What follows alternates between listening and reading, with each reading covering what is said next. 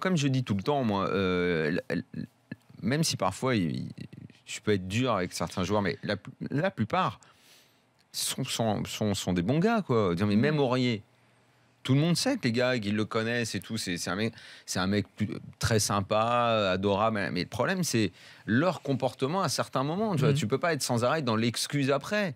Tolisso, c'est un chouette gars, mais bon, parfois, euh, entre l'année dernière, quand il, il a tout fait pour pourrir euh, l'arrivée de, comment s'appelait le mec de Guingamp, la Beauvue, euh, tu vois, plein de fois, quoi, c'est des dérapages et tout. Alors, ok, t'es sympa, t'es un bon gars, mais.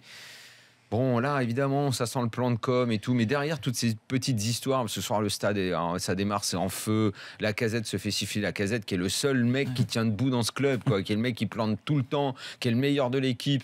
Euh, mais c'est vrai que qu'est-ce qui prend à la casette d'aller faire la Tiens. euh, dans, dans le CFC euh, sur à la fin de la saison Je vais partir la semaine du derby. Alors lui, alors Olas va venir maintenant pour dire. Bah, justement, on ouais, l'écoute. ouais, mais ils ont diffusé le truc, ils auraient pas dû. Non mais contrôle vos trucs, c'est comme au PSG euh, vieille polémique pourrie aujourd'hui avec euh, avec Kipembe qui publie des trucs. Ouais.